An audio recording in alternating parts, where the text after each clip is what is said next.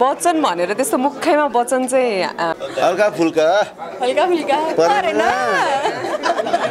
म अहिलेसम्म एउटा सेलिब्रिटीको घर गएको छैन भाइ त मलाई बोलाउँदा पनि बोलाउनु हुन्न होइन कसैले? तर थाहा छ घर भनेको चाहिँ त्यो हो अरे जहाँ चाहिँ आफू एकदमै खुसी अनि सेफ फिल गरिन्छ भन्छ नि त्यो घर हो भनेर भनिन्छ चाहे त्यो डेरामा बसे पनि। सबैलाई स्वागत छ। कहाँ बस्नुहुन्छ धन्यवाद। Thank you so much thank you okay म सुरक्षाजीबाट जान्छु। जिन्दगीमा कहिलेकाहीँ घरबेटीबाट त्यस्तो खालको वचन सहनु पऱ्यो कि परेन? जुन टेलरमा देखाइएको छ। वचन भनेर त्यस्तो मुखैमा वचन चाहिँ पाएको छैन तर कहिलेकाहीँ व्यवहारमा चाहिँ भनौँ न अब सानसानो कुराहरू अलिकति बढी युज गरिदिँदाखेरि जस्तै पानीको कुराहरू भयो होइन बिजुली भयो अँ, फोहोर सोहोर भइदिइहाल्यो भने त्यस्तो कुराहरूमा चाहिँ अलि माइन्ड गर्नु भएको हो कि भन्ने हावभाव चाहिँ देखाउनु हुन्थ्यो होइन? तर एकदम नराम्रो वेमा चाहिँ मुख्यमा भन्ने गरी त्यस्तो भएन। म अहिलेसम्म बसेको फ्ल्याटहरू घर डेरा भनौँ न त्यहाँ चाहिँ अब म ब्लेस छु। एकदम राम्रो घरबेटीहरू पर्नु भएको छ। ओके विपिन दाईको पनि अहिले त्यहाँ हात उठाउँदाखेरि चाहिँ हात उठेन क्या दाई? तपाईँको पनि डेरा रहेछ नि थाहा पाएँ मैले भोलिचोटि दाई। गरेको छ घरवालाकोमा हात उठाइदिएको थिएँ त मैले त। के गर्थेँ? घर कसको घर छ भन्दाखेरि हात उठाउनु भएको थियो ए। ओके दाई जिन्दगी तपाईँ डेरामा कति टाइम बस्नुभयो भनिदिउँ न भनेर नि। लालपुरसँगको हेर्न सधैँ नै बसिरह दाइले चाहिँ डेरामा कस्तो खालको अनुभवहरू भोगिरहनु भएको छ? जुन यो अब समय म धेरै ठाउँ अब यो बसेको भएर चाहिँ मैले विभिन्नै किसिमको चाहिँ भेरियसहरू चाहिँ भेटेको छु होइन। यसमा मैले हरेक खालेको नै भेटेको छु। जस राम्रो न अलिकति कराउने नकराउने माया गर्ने सबै भेटेको ओके तपाईँको सिनेमाभित्र चाहिँ विशेष गरी तपाईँको श्रीमतीज्यूले डेराको कुरा र घरको कुरा धेरै गर्नुहुन्छ। रियल लाइफमा भाउजूले कति गर्नुहुन्छ घर र डेराको कुरा? खासै रियल लाइफमा त हुँदैन। प्रेसर छैन। प्रेसर त्यो हुने कुरै भएन नि ओके अघि त्यहाँ डेराको कुरा उठ्दाखेरि घरको कुरा उठ्दा वर्षाजीले पनि उठाउनु भएको थिएन कि? होइन मेरो को कसको घर छ काठमाडौँमा भन्नुभएको थियो। मेरो घर छैन नि त। म त अब ड्याडको घरमा बसिरह नि त। त्यही भएर। आफ्नै घर भएपछि मात्रै उठाउने भनेर। यतापट्टि तपाईँको घर छ कि डेरा छ? मेरो मेरो घर छ। कस्तो छ? चारजनाको परिवार छ। त्यो मजाको घर छ त्यो मजाको कति घरै कङ्क्रिट। सङ्क्रिटको त घर छैन एकदम अक्सिजन मांस हार्डको घर छ हाड हड्डीको घर छ? तर थाहा छ घर भनेको चाहिँ त्यो हो अरे जहाँ चाहिँ आफू एकदमै खुसी अनि सेफ फिल गरिन्छ भन्छ नि त्यो घर हो भनेर भनिन्छ। चाहे त्यो डेरामा बसे पनि अब आफ्नै घर भए पनि अब पार्टीमै बसे पनि होइन? आफू सेफ सेक्योर छ भने चाहिँ त्यो घर हो जस्तो लाग्छ मलाई चाहिँ। वर्षालाई चाहिँ आफ्नै घर बन्ने मान्छे जस्तो लाग्छ। होइन म त खुसी छु अहिले जे छ तर त्यसमा एउटा खुसी छु। सपनाको घर भन्छ नि त्यो चाहिँ कस्तो खालको छ सबैजना खुसी भएर बस्नु परिवार त्यही नै हो घर भनेको चाहिँ मेरो लागि। सुरक्षाजीबाट जाउँ सुरक्षाजीले फिल्ममा एकदम अ, अगाडिको फिल्ममा एकदम भर्स्टाइल एक्टिङ गरिरहनु नायिका होइन। तपाईँलाई चाहिँ अलिकति कमेडी कमेडी फिल्ममा देख्दाखेरि चाहिँ ओहो सुरक्षाको क्यारेक्टर के रहेछ फिल्ममा जस्तो लाग्दो रहेछ? के छ अलिकति के गर केटिरहेको अनुभव आफ्नो भूमिकाको बारेमा थोरै भन्नुहुन्छ? यो चाहिँ क कस्तो हुँदो रहेछ भने यो नदेखिएका पाटोहरू के कलाकारहरूको अब इन्डस्ट्रीमा काम गर्दै जाँदाखेरि चाहिँ एउटा सर्टेन रोलमा मान्छेहरूले रुचाइदिनु भयो अथवा सफल भयो जस्तो भयो भने त्यही टाइप कास्टिङ हुने प्रोसेस छ नि त होइन? अनि मेरो चाहिँ प्राय गृहिणीको अनि गम्भीर रोलहरूमा धेरै अफर आउने बढी भयो। म आफै पनि पर्सनली कमेडी मुभी कमेडी जनराको राम्रो अडियन्स हो। मलाई एकदमै मनपर्छ। म आफ्नो फिल्ममा खेल्छु तर हेर्न जान्छु कमेडी मुभी पनि। र मेरो फनी साइड एक्सप्लोर गर्नु मन पनि लाग्छ मलाई। सो आई थिङ्क यो एउटा अपर्च्युनिटी थियो। म जहिले पनि मलाई कसैले कमेडी मुभी अथवा कमेडी रोल अफर गर्छ भने चाहिँ मलाई एकदम गर्नु मन लाग्छ म यो फिल्मको टिजर आएपछि सबभन्दा धेरै फ्यान भएको हुन्छ विपिन दाईको म पहिले पहिले नै फ्यान हो दाईको। तर विपिन दाईको जुन क्यारेक्टर दाईले जुन क्यारेक्टर गर्नुभएको छ दाई माइन्ड ब्लोइङ थ्याङ्क यू यार थ्याङ्क दाईको लागि पनि अहिले त्यहाँ स्पेसल छ यो फिल्म मेरो लागि विशेष छ भन्दाखेरि। के अर्थमा दाईको लागि फिल्म विशेष? यू यो चाहिँ मेरो यो चाहिँ कस्तो भनेदेखि यो एकदमै मास अडियन्सलाई चाहिँ हिट गर्ने खालको क्यारेक्टर छ क्या। अलिक अब फनी कुराहरू मन पराउनु चाहिँ एकदम फनिस्ट क्यारेक्टर छ मेरो चाहिँ होइन। अनि त्यो कारणले गर्दा पनि मेरो मात्रै नभएर होल फिल्म नै चाहिँ अब तपाईँहरू देखिहाल्नुभयो एकदम ह्युमरै ह्युमर छ। अब ह्युमर हाम्रो समाजमा रुचाइरहन्छ रुचाइन्छ नि त। त्यो कारणले पनि मलाई चाहिँ अब यो अपेक्षा गर्नुको कारण चाहिँ त्यो नै हो। अब वर्षा र विपिन दाईको जोडी त अब एकदम रुचाइएको जोडी जात्रा जात्रा जात्राको सिक्वेल होइन फेरि यसमा आउनुभयो तपाईँहरू होइन? गोपी पनि छ होइन? त्यही मैले गोपी बिर्सेँ सरी गोपी जोडी फेरि आउनु भएको छ होइन? वर्षा के छ विपिन दाईसँग आइ फिल्म गरिरहँदाखेरि चाहिँ? वर्षालाई के कुरामा एकदम छुट्टै आनन्द अनुभूति हुन्छ? दाईलाई कस्तो फिल हुन्छ भन्दाखेरि अब यत्रोसँगै काम गरिसकेको छ होइन? अनि एकदमै कम्फर्ट जोन फिल हुन्छ मलाई चाहिँ विपिन उहाँसँग काम गर्दाखेरि चाहिँ हुन्छ नि। अब जस्तै अरूसँग काम गर्नु अगाडि चाहिँ अलिकति सिङ्कअप मिलाउनु पर्ने यताउति होइन? अँ, भिज्नु पर्ने जुन हुन्छ नि त्यो चाहिँ उहाँसँग पर्दैन क्या सो सजिलै छ उहाँसँग काम गर्नु मलाई चाहिँ स्पेसली फिल्ममा काम गर्दा कति काजु खायो? कन्स्टिपेसन भएर कस्तो गाह्रो भयो थियो नि।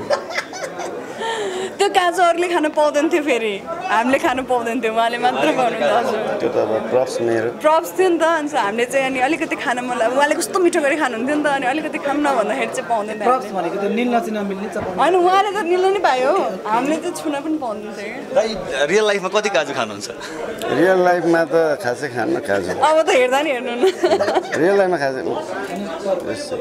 हल्का फुल्का हल्का फुल्का ओके रविन दाई रविन दाई भएपछि सिनेमा कमेडी फिल्ममा दाई र बुद्धि तामाङ हुनुभयो भने कस्तो कस्तो लाग्छ होइन? यसमा दाई हुनुहुन्छ। दाई के छ अलिकति भनिदिनुहोस् त दाई? जात्रामा पनि गर्नुभयो उहाँहरूसँग फिल्म तपाईँले ज्यादा पनि गर्नुभयो। के के ड्रामा हेर्दाखेरि त्यो फ्लेभर आउँछ कि आउँदैन के फरक छ?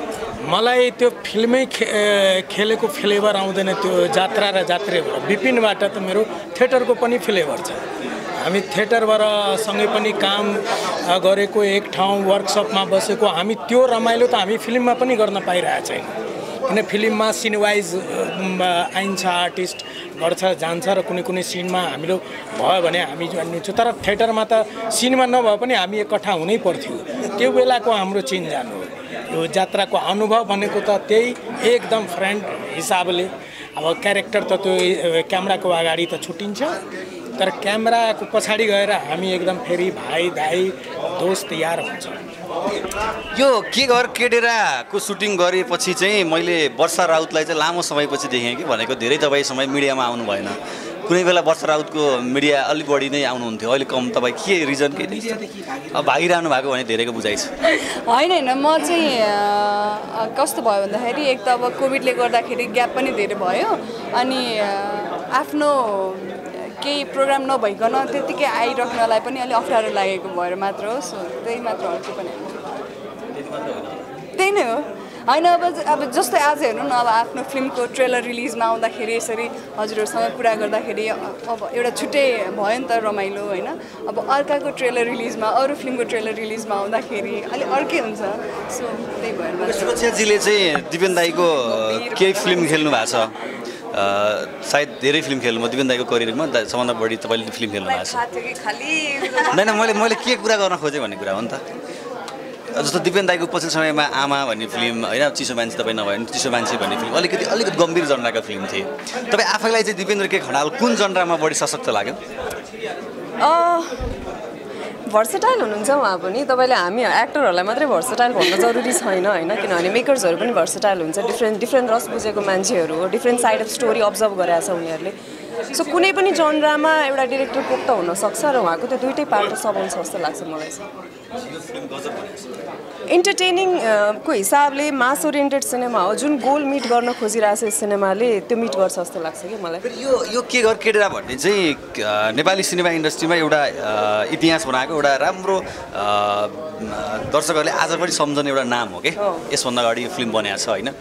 त्यो क्रेडिट यसमा नाम मात्रै होला सायद होइन? विपिन दाईलाई के लाग्छ? जुन एउटा पहिल्यै हिट भइसक्यो एउटा फिल्मको नाम लिएर फिल्म बनाउँदाखेरि र त्यसको मेन क्यारेक्टर भइरहँदाखेरि आफूमा देखिने दबाब आफूमा आउने चुनौती कति हुँदो रहेछ दाइ यस्तो हुँदो रहेछ। अब त्यसको हामीले रिमेक र त्योसँग जोडिएर केही कुरा भएको भएदेखि चाहिँ त्यो अर्कै हुन्थ्यो होइन? हामीले यसमा चाहिँ नाम मात्रै अब दस वर्ष पछाडि चाहिँ नाम राख्न मिल्ने चलन हुन्छ नि त।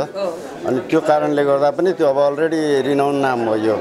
अनि अब हाम्रो चाहिँ कथा पनि हाम्रो चाहिँ अब यही योसँग चाहिँ हेर्दाखेरि म्याच गरेन भने चाहिँ भोलि आएर चाहिँ त्यो कुरालाई अड लाग्छ होला। होइन तर अब यसैले चाहिँ कथाकै वरिपरि यो कथा सार्थक लाग्यो भने भोलि हेर्दाखेरि चाहिँ अब त्यो चाहिँ खासै त्योसँग चाहिँ मैले चाहिँ रिलेट गरेको छैन कहिले पनि। यो टपिक कालान्तर जान सक्छ क्या? पहिलाको एउटा सि सिनारियो थियो होला के घर के डेराको होइन? अहिलेसम्म पनि मान्छेहरू डेरा र घरमा जसरी सङ्घर्ष गरिरहेछन् त्यो त अहिले पनि देयर इज अ स्टोरी नि त होइन? अलिक फरक होला। सो मलाई लाग्छ कहिले पुरानै हुँदैन क्या यो कथा। अझैको अझै दस बिस वर्षपछि पनि यो त होइन? कहिले पनि हुँदैन नि यो त अब अ, बनाउन सकिन्छ जस्तो लाग्छ मलाई।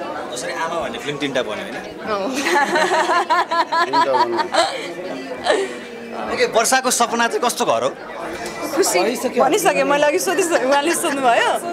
मलाई हामी इन्जिनियर मान्छे पनि हो है बाहिर तपाईँ चाहिँ अँ, कस्तो घर कस्तो घर? हुनुपर्छ होला विशेष गरी आर्टिस्टहरूको लागि भनौँ न होइन? एकदम पिसफुल एकदम प्राइभेट अनि जहाँ भनौँ न आफू गइसकेपछि चाहिँ आफ्नो काम पनि साइडमा छोड्न मिलोस् अनि आफूलाई समय दिन मिलोस् अनि अलिकति ओपन होस् प्रकृतिको नजिक बस्न पाइयोस् भने त काठमाडौँमा गाह्रो छ है त्यो लेभल अफ ओपन एउटा फार्म हाउस जस्तो बनाएर बस्न गाह्रो छ होइन? तर मेरो ड्रिम हाउस चाहिँ पक्कै पनि अलि टाढै भए पनि एउटा ठुलो स्पेसमा चाहिँ एकदम राम्रो सानो चिटुक्कको खेतबारी गरेर बस्न मिल्ने खालको फार्म हाउस टाइपको भइदियो भने चाहिँ अति राम्रो हुन्छ। तपाईँ आफै एउटा इन्जिनियर पनि हो। तपाईँलाई नेपाली सेलिब्रिटीको घरमध्ये कसको घर एकदम राम्रो म लाग्छ? अहिलेसम्म एउटा सेलिब्रिटीको घर गएको छैन भाइ मलाई बोलाउँदा पनि बोलाउनु हुन्न होइन कसैले। अनि गएको पनि छैन वर्षाले बोलाउने बोलाउन हो कि? मलाई त कसैले बोलाउनै ओके कृपया एकदमै राम्रो घर भएको सेलिब्रिटीले उहाँलाई बोलाउनु होला होइन? दाईको सपना चाहिँ कस्तो घर घर- घरभित्रको वातावरण भएन क्या घरको डिजाइन भनेको दाइ। डिजाइन तपाईँ होइन के सुरक्षाको डिजाइनको घर पनि चाहनुहुन्छ? हेरौँ न एकचोटि एकचोटि अडिसन लिनुपर्छ इन्जिनियरहरूको? नक्सा लिएर आऊ भाइ भन्ने बहिनी आएन आर्किटेक्ट ल कसलाई घर बनाउनु छ भन्नु। थ्याङ्क यू सो मच सबैजनाको घरै घर होस् होइन? र के घर केटेरा भन्ने सिनेमा जसरी टेलर उत्कृष्ट बनाएको छ एकदम मजाको होइन? त्यस्तै फिल्म बनोस्। र दर्शकहरूले जुन अपेक्षा तिहारमा एकदम रमाइलो झिलिमिली अनुसार झिलिमिली पनि हुन्छ र रमाइलो पनि गरौँ भन्ने हुन्छ त्यो अनुसार फिल्म हलमा जति पनि अरू हिन्दी फिल्म रिलिज हुँदैछन् ती सबैलाई मार खाओस्। र नेपाली फिल्म चलोस्। धन्यवाद धेरै धेरै धन्यवाद।